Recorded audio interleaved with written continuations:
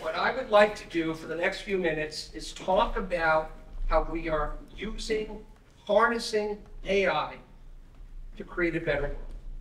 And I want to both educate and challenge your thinking.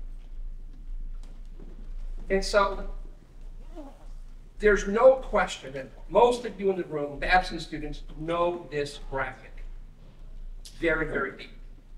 For those of you who don't, this is United Nations Sustainable Development Goals.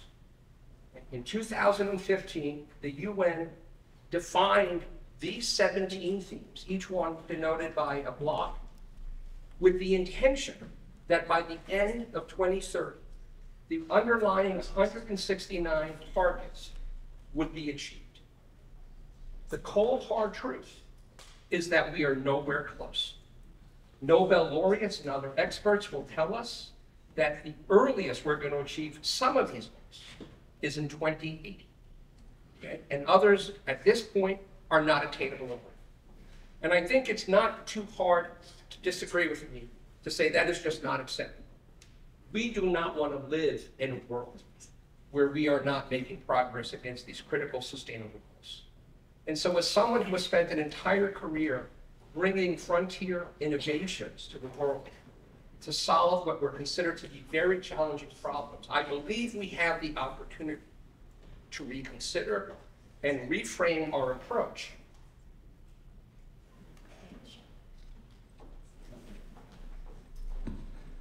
Keep this coming. To reframe our approach so that we can begin to make progress. And so what I'd like to do for our time together is talk about how we are accomplishing incredibly difficult challenges through the lens of only one of these 17 SDGs. Okay? And that one happens to be healthcare. And I chose that one because I thought it might be the most universally appreciated of all of the 17 because we're all concerned about our health. Now, I didn't choose healthcare because it is a layup healthcare system is in deep crisis. Some really critical facts to understand. We are seeing a dramatically aging population globally. One in every eight people on the planet are medically obese. The, the mental health challenges that permeate the world today are growing. Last year, 50,000 Americans, a record, committed suicide all of these different challenges are putting a lot of burden on the healthcare system. But unfortunately, our healthcare providers today are suffering from burnout and anxiety at record levels. And as a result of that, they are leaving the profession. So the irony is we need more healthcare workers, but yet what the World Health Organization tells us is we will be at least 10 million healthcare workers short by the end of this decade. And that's just not acceptable. And of course, the costs continue to spiral out of control. And, and so we have now at our disposal, for the first time, which is accessible to all of us, a multi-purpose platform that I'd liken to a Swiss Army knife on steroids. And that, in fact, is something that has a limitless number of tools that can solve problems that we could never solve before at rates of speed that were unimaginable. Now, I recognize, and the media has done a brilliant job of putting a lot of fear into many people's hearts about the downside of AI. And I think it's important to understand that a lot of this is just overblown. But more importantly, I want to share with you an immutable truth, and that is no technology is inherently good or bad. Technology is only as good as the values and intentions of the people who deploy it. And it is with those values and intentions that we will collectively create our future together. So let us leave it to the policymakers and the regulators to manage the downside risks of AI, and leave it to us, the leaders who care about living in a better world, to harness AI for good. Now, I want to offer you four specific proof points to demonstrate why I believe this is so powerful. And first, though, we need to go back to the very center of the healthcare system, the medical doctor. Now, the medical doctor, as you can see in this image, is under incredible stress. A lot of these doctors who are leaving the profession, and I've had many in my MBA classrooms, have said, Professor Mike, you know, I spend one hour in the operating room and four hours doing paperwork. I'm a cog in the healthcare industrial complex, and I do not feel like I am doing what I wanted to do. And so what we see here is someone who is, they're, they're spending too much time doing battle with insurance companies around compliance. And one of the unintended consequences of the mass adoption of electronic medical records is that doctors have become note takers. They spend on average four hours every single day entering notes into these health records. It's crazy. So when a doctor receives their degree and they're ready to practice, they take the Hippocratic Oath. And the Hippocratic Oath is first, do no harm. But unfortunately, burned out doctors are doing harm. Of course, not intentional harm. But we see 800,000 Americans die every single year from medical errors, another 4,000 from surgical errors. And this just cannot continue. So, how do we ease the pain of these clinicians so they can in turn ease our pain? And I very much believe, and I hope that the next few examples will prove, that bringing an AI enabled physician's assistant to the clinical team will be very, very powerful. And so I'm not saying that we're going to forfeit medical care to an AI bot. That's not at all what I'm saying. But there are many, many examples, and I'm only going to get to scratch the surface in this short talk, about how we're using AI to remove the administrative burden and the cognitive burden on doctors. And at the same time, a lot of very early promise about how AI is leading to a much more better, better clinical outcome. So, what you see here is something that I know some of you in this room have experienced. Now, for most of us, when you think about a consultation with the doctor, right? It's like a drive-by, okay? They're racing from appointment to appointment. And more often than not, they're sitting at a bench and they're typing, but they're looking into a computer screen. They're looking at your record. And they're looking over their shoulder at you every you know, 15, 30 seconds to keep you engaged. Well, what we have now is an AI-enabled medical scribe, an ambient scribe. And what happens is that the doctor is now in consultation with the patient. That discussion is being recorded. That video file is being translated into a text file. That text file is being uploaded into the electronic, electronic medical record of the patient. And then you can print a summary of that discussion and hand it to the patient as they leave the room. Okay? This is saving medical professionals 20 plus hours a week. So the early feedback from doctors is extremely positive. Imagine what you can do with 20 extra hours a week in your lives. And so what we're seeing is doctors now have more time to provide a higher quality of care to patients, more time to keep up with their medical journals, and oh yeah, go home and recuperate and rejuvenate so that you can manage that systemic challenge, which is burnout. So that's proof point number one.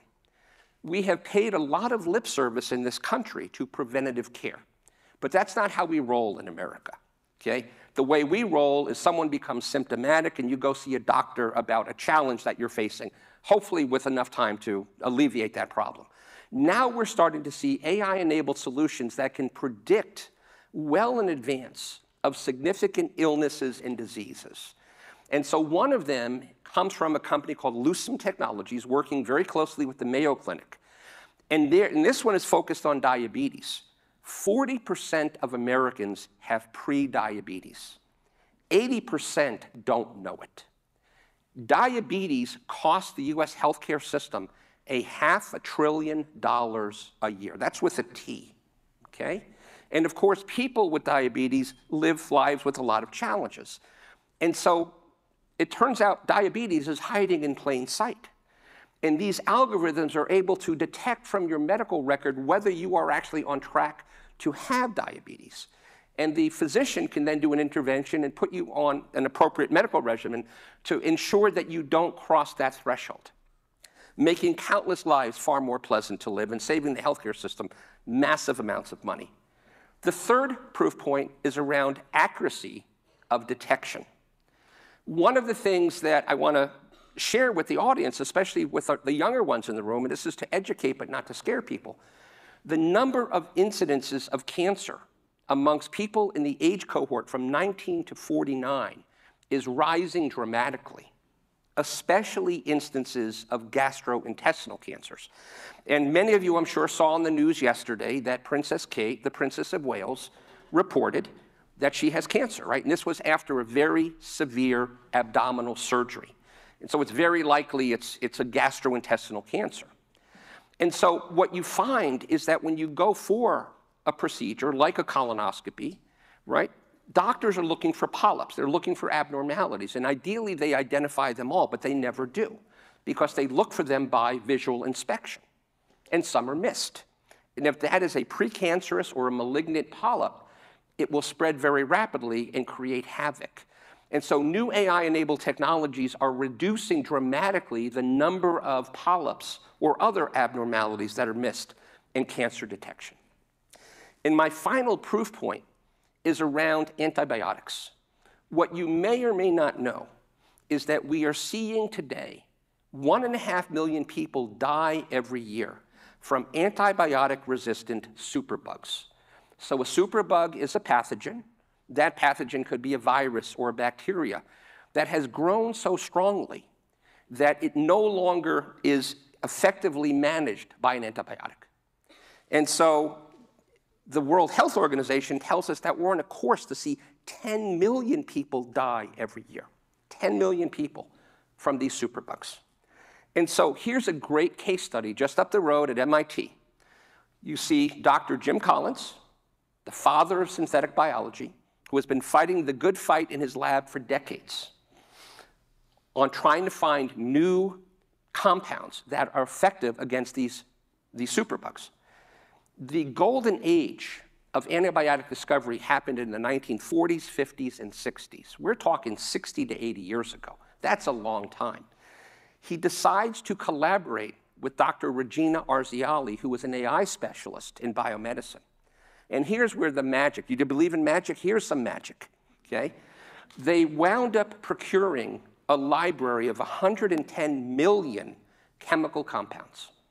It would have been impossible for them to analyze these 110 million compounds using the old techniques. But using a neural network in deep learning, they were able to identify an effective compound in three days. Not three weeks, not three months, not three years, in three days. Okay? If that's not magic, I don't know what is. Okay? And we're just getting started. So let's now come full circle to these sustainable development goals. Okay? I think I made my case that at current course and speed, we will fail spectacularly. We cannot afford to wait a half a century. Every year that passes, the problems, the challenges, the crises become more complex and more severe, and the consequences become far more unthinkable. And so the question then I ask all of you is how do we meet the moment? How do we rise to the occasion? What is it going to take for us to knock down these critical goals in some reasonable amount of time? And I think you know that my answer lies that at least part of it, and I'm not saying all of it, but part of it lies in embracing the power of AI. Now, I have lived in the tech industry. I've spent a lot of time in Silicon Valley and here in Boston and other tech centers, right? What you need to know, whether you know this or not today, we are living in the era of AI today. And I realize some of you may not understand that. Some of you may even you know, be very skeptical. But what I want you to understand is the, the number of degrees of separation from this AI revolution epicenter you are, the less you may realize it today. But as sure as I'm standing here, I need you to go home and understand this. It's going to happen faster than you can imagine and you want to be on the right side of this transformation. Okay? And so, what, what would I like you to then take away from this discussion? First of all, it's all hands on deck for the planet. And as I look into the audience and so many students, right, this generation of students is the most environmentally and socially conscious since the 1960s, and you get it. But for those of you who show up on a Saturday at a TEDx event on a day that feels like it's a monsoon day in Boston, we know that you all care about making the world a better place. And so, what can you do? I would ask you to think about picking one of these 17 themes, one that you resonate with, one that makes your heart beat faster, and say, This is where I want to contribute. Okay?